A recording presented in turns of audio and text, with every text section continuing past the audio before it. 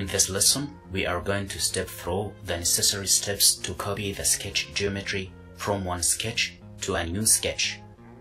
So, let's say, for example, we want to copy this sketch geometry down to this point here. Well, first you need to go to the feature manager tree, expand the tree, and find the sketch or locate the sketch that you want to copy go ahead and select it and then you can go to the, the edit drop down menu select copy go back out to the screen select the face to copy it to go back to the edit drop down menu and select paste. Or let me undo this. You may know the keystroke so if I select sketch 2, I can do a Ctrl C for copy, select the new face, Ctrl V for paste.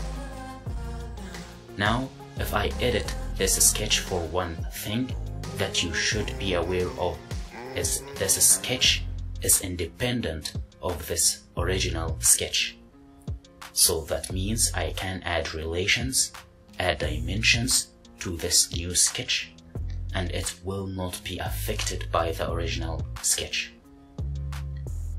Now let's say for example, you want to copy and paste this sketch geometry, but you want this sketch geometry to be related to this sketch geometry. So if we update this size of this sketch, this one updates with it. We can do that. It's called derived sketches. So I'm going to select undo a couple times to remove that sketch. And the derived sketch can be found in the drop-down menu. Insert the derived sketch. Notice, it's grayed out.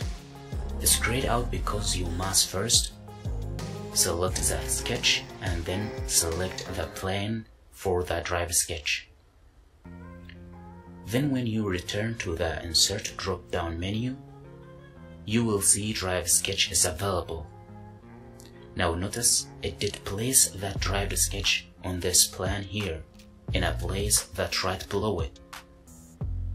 Now we can add smart dimensions to this sketch. Let's change this to 50. However, I can't change the profile or the shape of the that sketch. If I try, notice I can't simply locate it. I can't change the shape of it. So if I close out of this point command, exit the sketch and I edit the original sketch, we stretch this point way out here and then I close out of this sketch you will see the Derived Sketch updates along with it. So that was all for this video. Thank you for watching. Please don't forget to give like and subscribe to get more. Have a nice day and until the next video.